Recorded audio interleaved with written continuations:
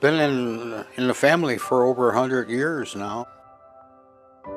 Seeing it brings back the memories of the, the house when it fell apart.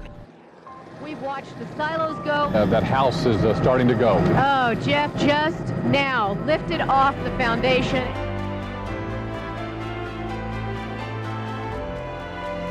I'm sure it's going to happen again, but not in my lifetime, I hope.